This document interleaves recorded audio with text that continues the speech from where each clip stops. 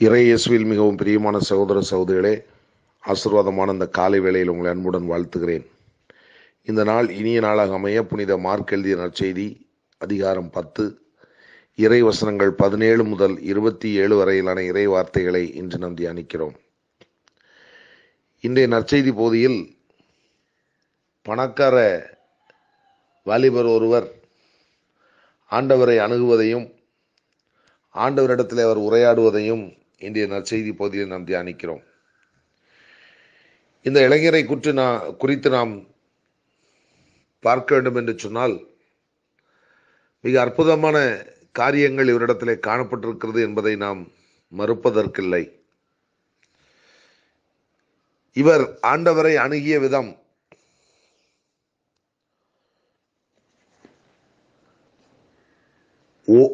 ஒருவர் ஓடி வந்து முழந்தால் படியிட்டு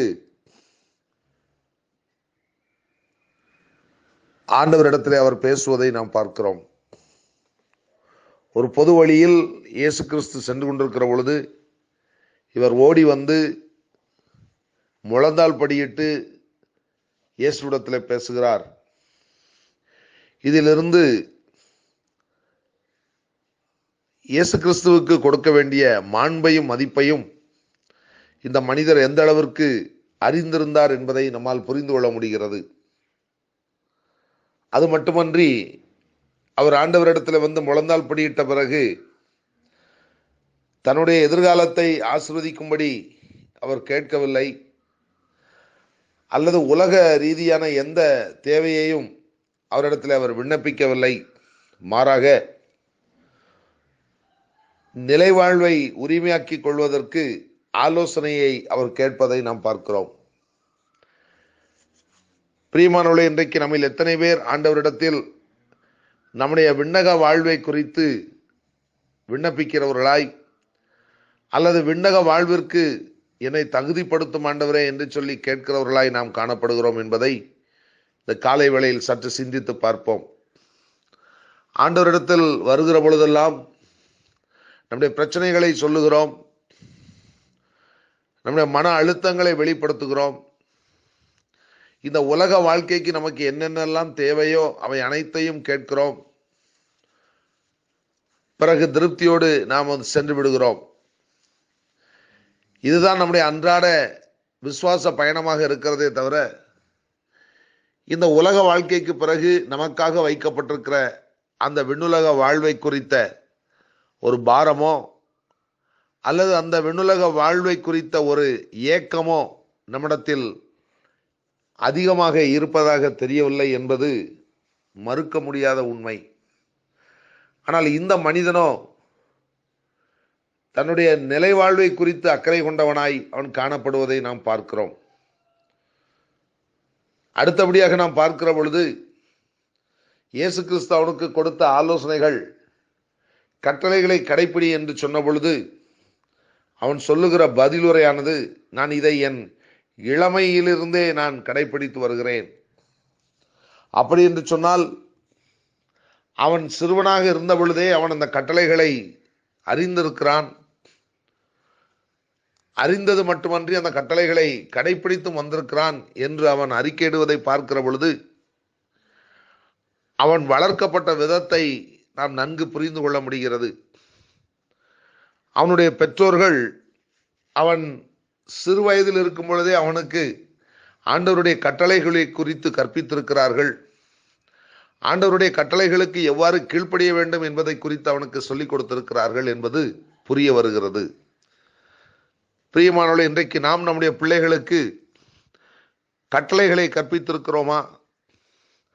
ஆண்டவருடைய திரு வார்த்தைகளின் ஆழத்தையும் ஆண்டவருடைய திரு வார்த்தைகளின் உண்மையான அர்த்தங்களையும் நம்முடைய பிள்ளைகளுக்கு நாம் கற்றுக் கொடுக்கிறோமா என்பதை சிந்தித்து பார்க்க நாம் அழைக்கப்பட்டிருக்கிறோம். தரமான உணவை தரமான ஆடையை தரமான இருப்பிடத்தை தரமான கல்வியை கொடுப்பதற்கு பெற்றோர்கள் இன்றைக்கு முனைப்புடன் செயல்படுகிறார்களே தவிர அவர்களுக்கு உன்னதமான ஆண்டவரையும் அவருடைய வார்த்தைகளையும் குறித்து தங்களுடைய பிள்ளைகளுக்கு கொடுப்பதற்கு அல்லது கற்றுக் கொடுப்பதற்கு இன்றைக்கு எத்தனை பெற்றோர்கள் முயற்சி செய்கிறார்கள் என்பது ஆண்டவர் மட்டுமே அறிவார். ஆகவே இந்த இளைஞனுடைய பெற்றோர்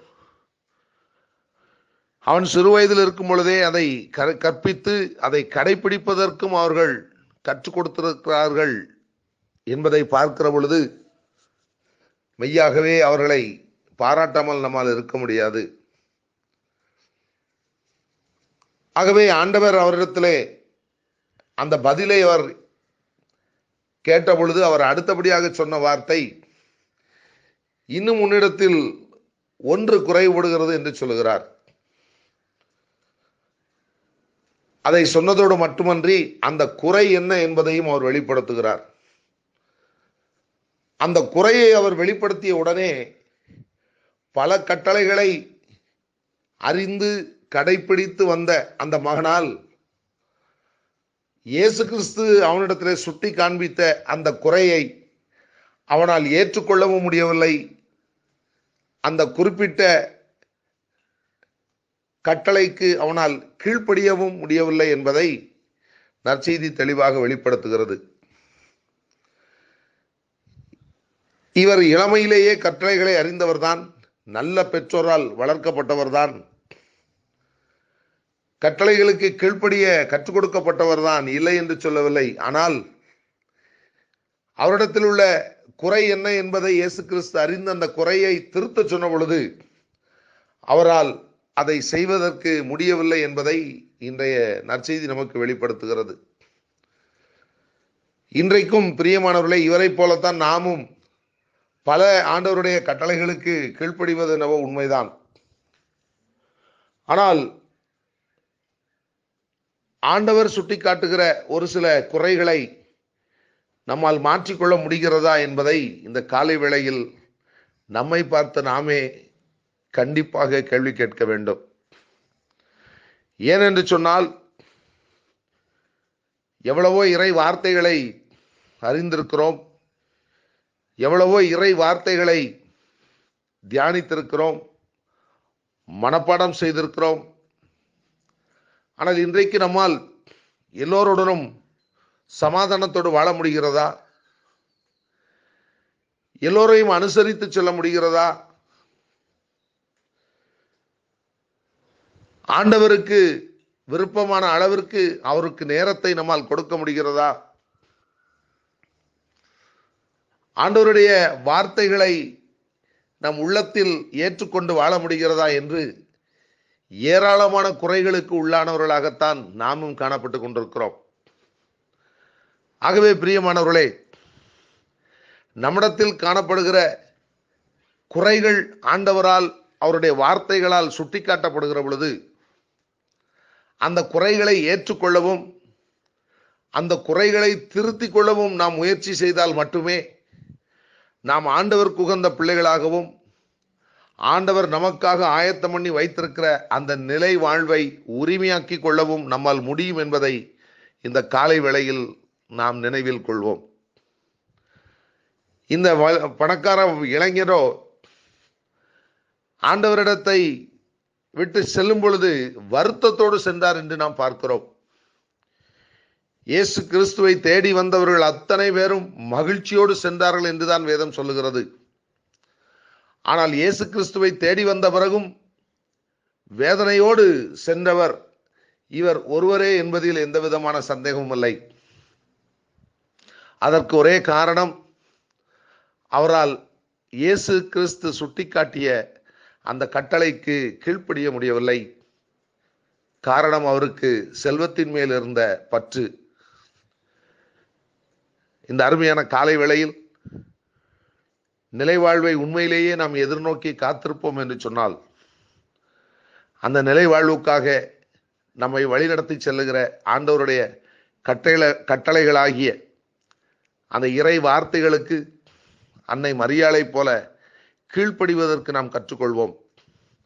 அன்னை மரியாளை போல அந்த வார்த்தைகளை நம்புவதற்கும் அந்த வார்த்தைகளுக்காக வாழ்வதற்கும் நாம் முயற்சி செய்வோம். இந்த உண்மையான முயற்சியே நிலை வாழ்வுக்கு நேராக நம்மை நடத்தி செல்லும் என்பதில் எந்த விதமான மாற்று கருத்தும் இல்லை. இந்த இனிய சிந்தனையுடன் இந்த நாள் இனிய நாளாக அமைய உங்களை அன்புடன் வாழ்த்துகிறேன்.